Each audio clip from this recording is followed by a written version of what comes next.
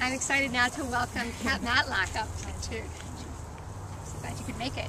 And Kat is the owner of West Asheville Yoga, but I think of Kat more as the spiritual leader of West Asheville Yoga, or really sort of the spiritual leader of West Asheville. So.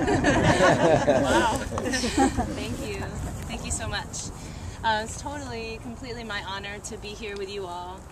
And I'm very excited that we have this space and so grateful to the wonderful volunteers at the Riverlink organization to take a space that maybe doesn't look sacred from the outside and help us to recognize that there is an opportunity to be blessed wherever we walk and um, to beautify and not only bring beauty to this place but also a place where we can come in deeply into our own hearts and that ultimately um, when we can come deeply into our own hearts and shine out from the light of the divine that lives within our hearts then we can truly experience peace and joy in our lives and this labyrinth is a place where we can come and come from the place of the hamster wheel of our minds, where we have all of these thoughts that constantly go round and round the lists and the busyness and the things that we need to do.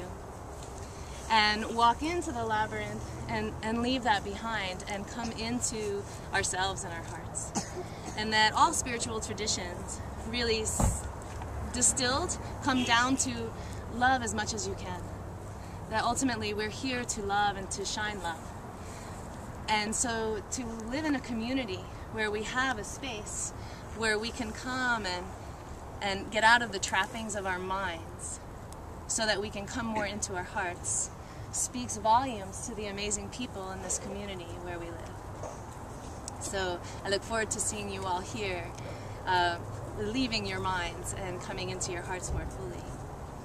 And in the yogic tradition, in the Hindu tradition, when a new beginning is happening, we salute Ganesha, the elephant-headed god. And Ganesha is known as the gatekeeper. He is the remover of obstacles, and he can also put obstacles in the way of something that's coming at you that you'd rather not experience.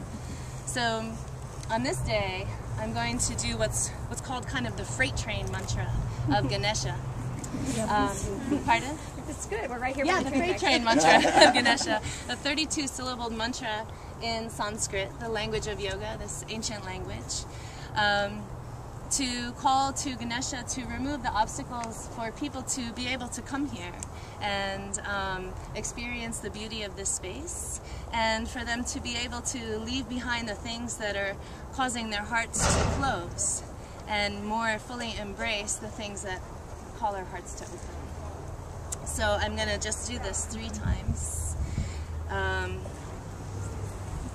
so I invite you to stand tall and really take presence in the earth on where we stand. Allow your feet to connect deeply into the earth. And let your eyes close for a moment and allow your breath to more fully expand your heart center, anahata in yoga. And just allow that expansion to come. And three times I'll do the mantra and just see your heart growing brighter and brighter.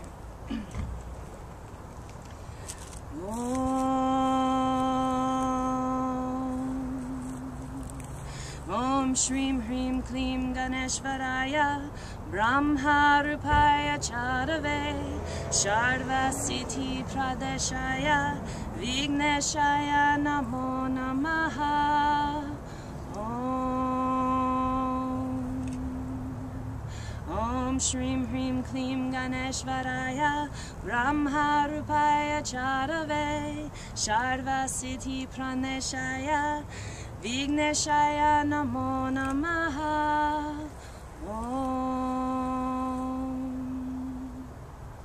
Om Shrim Hrim Klim Ganeshvaraya Brahma Rupaya Charave.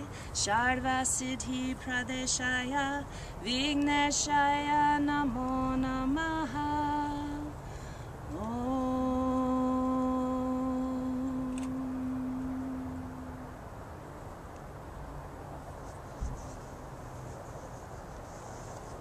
Thank you so much.